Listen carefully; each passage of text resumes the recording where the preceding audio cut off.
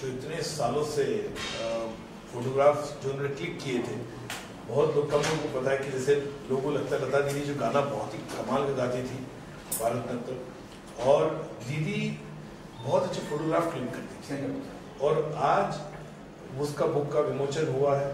बहुत खुशी की बात है हम सब के लिए कि दीदी ने इतने सालों से जो फोटोग्राफ लिए चाहे वो नेचर के हो, चाहे व्यक्ति के हो, चाहे अलग अलग जगह के हो, वो पूरा कंपाइलेशन एक साथ, और जो नाम है टाइटल एन जी क्लिक्ड बहुत ही कमाल का पुस्तक है एक कॉम्फर्टेबल बुक है, जो दीदी को की फोटोग्राफ लिखेंगे कि दीदी ने किस तरह से फोटोग्राफ क्लिक किए। तो तो हम सबके लिए बहुत ही गौरव का आज बहुत बड़ा खुशी का दिन है यहाँ पे, कि दीदी का जो योगदान, जो कंट्रीब्यूशन ऐसा कोई दिन जाता नहीं है जहाँ पे के गाने हम सुनते नहीं और आज उनका पुस्तक जो लॉन्च हुआ है तो मुझे इस बात की खुशी है कि मंगेशकर परिवार ने मुझे यहाँ पे बुलाया विमोचन के लिए। और बुक का हमने विमोचन किया। दीदी के साथ मेरे संबंध तकरीबन अठारह बीस साल से है। रहे हैं पूरे परिवार के साथ। मेरी पहली पिक्चर मुझे याद है जो अपना, जो पिक्चर से मुझे बहुत ही सफलता मिली पेज थ्री आज भी गाना जो है, इसका इतना गुनगुनाया जाता है। इतने अजीब रिश्ते यहाँ पे। दो पल मिलते साथ साथ चलते हैं, जब मोड़ा पीछे निकलते हैं। वो आज भी इतना पॉपुलर है। और कोई भी क्षेत्र में है, वो गाना आज भी इतना रिलेवेंट है, जो कनेक्ट करता है। तो मुझे इस बात की खुशी है। दीदी ने उसके बाद मेरे लिए फ़िल्म जेल में भजन गाया। एक तीसरा गाना भी है जो मेरे पास है। उसको किया जाएगा, उसको कभी आने वाली फ़िल्मों में। इस बात की खुशी है मुझे कि आज मुझे इस मोचन में एक हिस्सा बनाया गया। एंड दीदी के जो तमाम पुस्तक है फोटोग्राफ है उसके अंदर, वो पूरा जो है विश्व देखेगा इसको।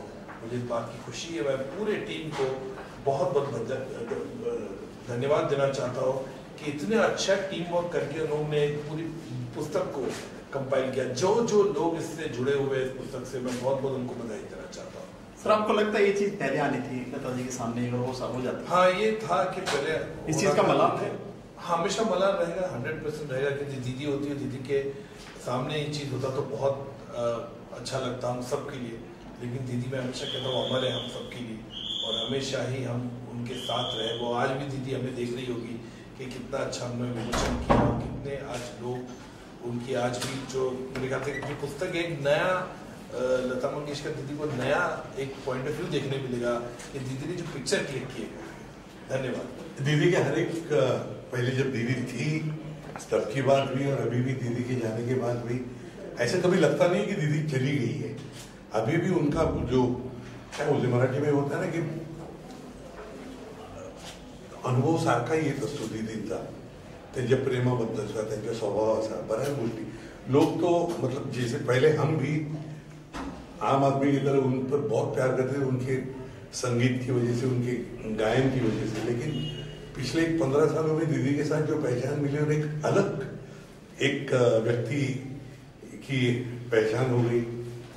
सिंपल अपने घर में जैसे अपनी माँ रहती है, बहन होती है, वैसे ही दीदी दीदी के घर में बाकी बहनें भी सब वैसे ही, पूरा वातावरण भी घर के अंदर वही, जैसे हम हम सबके घर में होता है वैसे तो मतलब ये ऐसे कभी तभी लगा नहीं। हालाँकि आज भी दीदी को हम, मैं ही क्यों? बाकी सारे भी। मैं, हमारे सीआईडी के दोस्त दीदी हमारे बाय में सीरियल पे बहुत प्यार करती थी सीआईडी पर।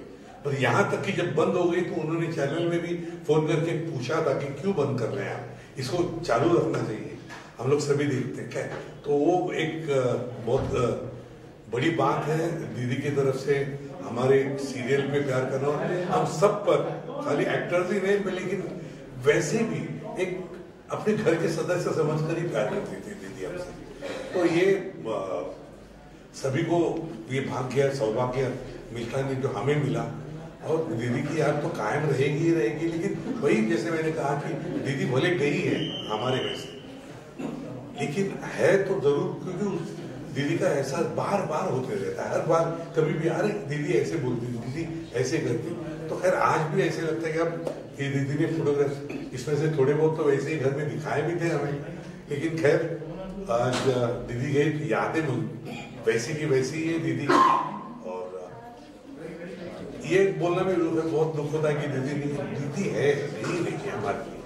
तो अब क्या क्या है आखिरी सवाल से कोई ऐसा वाक्य शेयर करेंगे? आप जो लास्ट आपसे मुलाकात हुई हो जाने से पहले। हाँ जाने से पहले मुलाकात हुई थी बात भी हुई थी फ़ोन पे लेकिन फिर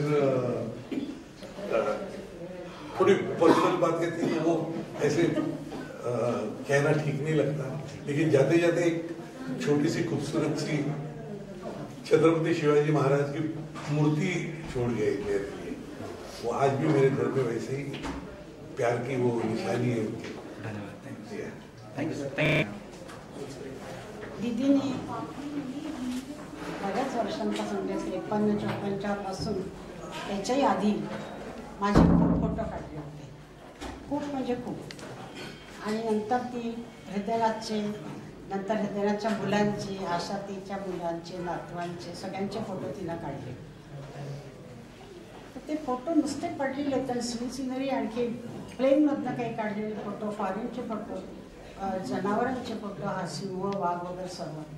तर ते सगळं तिच्याकडे नुसता गठ्ठा पडला होता. काय करायचं त्याचं? म्हणून शेवटी आम्ही ठरवलं की आपण सगळ्यांनी ठरवलं की एक छानपैकी पुस्तक काढावं एक अल्बम काढावा त्याचा. आणि इतक्या वर्षानंतर तिला आत्ता असं वाटलं करावा तिनं स्वतः बसून सगळे पुस्तकात जेवढी चित्र पाहिजेत तेवढी तिनं निर्णय केली. आणि त्याचे एडिटिंग केलं की हा भाग काटा हा राहू नको राहायला नको असं. हे सगळं तिनं सांगितलं. आणि पुस्तक जे करणार होते मयुरेश बेल त्यांना सांगितलं की आता तयारी कर आपण पुस्तक काढून रिलीज करूया दिवाळीला. दिवाळीच्या दिवाळी काही आली नाही तिच्यासमोर हे पुस्तक रिलीज झालं नाही. आणि त्याच्यानंतर सर्वांनी तेवढ्या उत्साहाने केलं ते. आणि आज तुम्ही बघितलंच आहे. आज तुम्हाला बघायलाही मिळेल की किती सुरेख चित्र काढली आहेत तुम्हाला फोटो काढले तर मला असं वाटतं सर्वांना आवडेल असं वाटतं. सर्वांना जर आवडलं तर तिला समाधान होईल कारण आमच्या मते ती आहे. सगळे कार्यक्रम ती बघत होती. तर मला वाटतं की ती पण आनंदात आहे. आपण सर्व आनंदात राहावं अशी सर्वांची इच्छा आहे. अमेरिका में गए, लंदन में गए रोम में गए, सब जगह उसको जहाँ जहाँ अच्छा लगा वो फ़ोटो लेती गई वो। और घर में हम लोग घर, जितने भी घर के मेंबर थे उनके फ़ोटो लेते गई। मेरी मौसी का लिया, मेरे कुछ पचास फ़ोटो लिए, हृदयनाथ के बच्चों के बहुत सारे फ़ोटो लिए, सब सबके फ़ोटो लेती गई। लेकिन क्या हुआ, उसके दो तीन फ़ोटो के ऊपर इतना इतना बड़ा हो गया उसका, इकट्ठा उसका। तो क्या करेंगे इसका? तो उन्होंने कहा, हम लोग एक अच्छा एल्बम बनाएँगे। तो बनाएँगे अभी ये बात कर रही हूँ मैं फोर्टी सिक्स से वो फ़ोटो निकाल रही है और हम लोगों ने ये तय किया टू थाउज़ेंड ट्वेंटी टू को। तो इतने सालों से उसने जमा की हुई, कुछ फेल हो गए थे, उनको थोड़ा सा ठीक करने की कोशिश की, लेकिन ब्लैक एंड वाइट बहुत अच्छे थे। तो वो सब इकट्ठा करके उसने एडिट किया और सब सिलेक्शन किया। और सिलेक्शन करके वो जमा करके कौन से के बाद कौन सा बच्चों का ये सब करके रखा। उसने कहा मैं उसको कहा कि अभी आप इसका एल्बम तैयारी कीजिए प्रिंट करने का। लेकिन वो दिन आया ही नहीं, उसी कुछ दिनों के बाद बीमार हो गए और हम लोग उसको बढ़ा नहीं सके। लेकिन है वो आज इधर तो कोई चिंता की बात नहीं है। वो देख रही है कि उसकी किताब कितनी अच्छी बनी है और सबको बहुत अच्छी लगेगी। इस पे मेरा विश्वास है और उसको भी खुशी होगी ऐसा मुझे लगता है। जब बुक लॉन्च हमने देखा आप काफ़ी इमोशनल हो गए थे। क्या चीज़ें दिमाग में आई आपके जब आपने बुक हाथ में लिया? कौन सा? अभी जो लॉन्च किया फ़ोटो आपने अंदर तो क्या चीज़ें दिमाग में आई है कि आज अगर सामने हो जाता तो इस चीज़ का मलाल है आपको? बहुत अच्छा होता है। सामने हो जाता तो बहुत अच्छा था। हम लोग देख सकते थे कि वो कितनी खुशी से कर रही है। लेकिन हम लोग नहीं देख सकते लेकिन वो तो देख रही है ना। तो है। हम लोग मानते हैं। को। ये जितने फ़ोटो है नेहरू ऑडिटोरियम में बहुत रखे सारे हैं। कहाँ पे रखे जाएँगे और कितने फ़ोटो की संग्रह संग्रह घर पे रखी। यहाँ पर भी कुछ बनाया जाएगा नहीं इसमें से इसमें काफ़ी लिए हैं। जो बच्चे हैं वो कहना चाहेंगे आज जो फ़ोटो दीदी के जो फ़ोटो रिलीज़ किए हैं उसके बारे में? फ़ोटो के फ़ोटो हाँ जी। बहुत अच्छा फोटोग्राफर थी थी और है में कितना इमोशनल कर गया आपको। थी और है में जो बहुत बहुत। अगर आज होती तो क्या खुशी होती? मेरा और कैमरा का कोई ये नहीं रिश्ता नहीं है। लेकिन उसका वो फोटोग्राफी उसका गाना आप ज़्यादा उसके लिए क्या बोलूँ? वो मेरी सांस थी। उसकी आवाज़ मेरे मेरी ज़िंदगी थी। बस। कभी आपको लगा कि ये फ़ोटो जो इकट्ठे हो रहे एक दिन ऐसे? हाँ। कभी आया कि इसके एक रखा जाए सबको एक लॉन्च किया जाए एक गैलरी बनाई जाए संग्रहालय में रखा जाए? हाँ वो, वो अभी तो चाहते हैं कि उसके लिए कुछ करना चाहिए। अभी ये किताब का काम भी मयूरेश ने बहुत अच्छा किया। सबसे अच्छा फ़ोटो कौन सा है लता जी का जो क्लिक किया हुआ जो आप बता सकते हैं कि सबसे अच्छा ये लगा? एक तो होगा कोई। सभी अच्छे हैं लेकिन ये उसने खुद का जो फ़ोटो निकाला है वो बताने पे खड़ी है ऐसे। ठीक है ठीक है ठीक है। ये मोदी जी के साथ जो फ़ोटो इसके बारे में क्या कहना चाहोगे आप? ये अभी तो ये यादगार है वो बहुत मानते थे दीदी मानते थे उसको। ये उसका बहुत मुझे मुझे ये फ़ोटो बहुत अच्छा लगता है।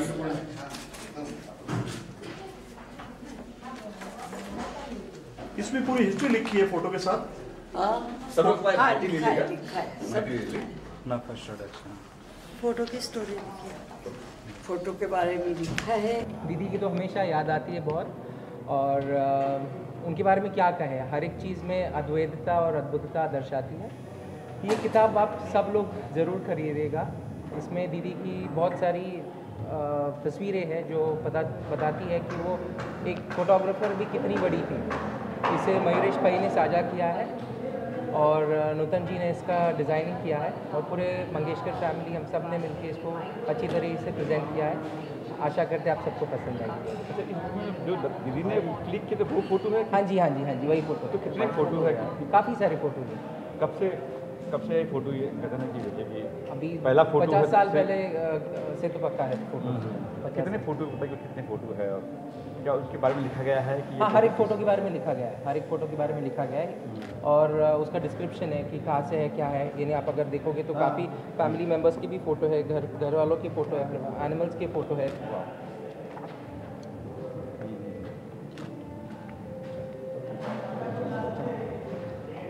हर एक फ़ोटो के बारे में वो कहाँ पे कहाँ से और किस चीज़ के लिए लिया गया। मतलब जब भी वो बाहर भी गई है हाँ जी, हाँ जी, फ़ोटो हाँ जी, हाँ। है हर एक चीज़ जैसे हमारे पीएम से मिले हैं वो फ़ोटो भी है इसमें। हाँ जी हाँ जी हाँ जी ये ये फ़ोटो है पीएमजी से मिले होते हैं। वही। ये फ़ोटो है इसका अभी ये आदिनाथ दादा ने अंदर रीड किया था ये इसके बारे में लेटर रीड किया गया था ये। मैम और यहाँ पे उषा दादी के साथ होना और ये सेलिब्रेट करना। और इनके फैमिली के साथ जुड़ना ही बहुत बड़ी बात है।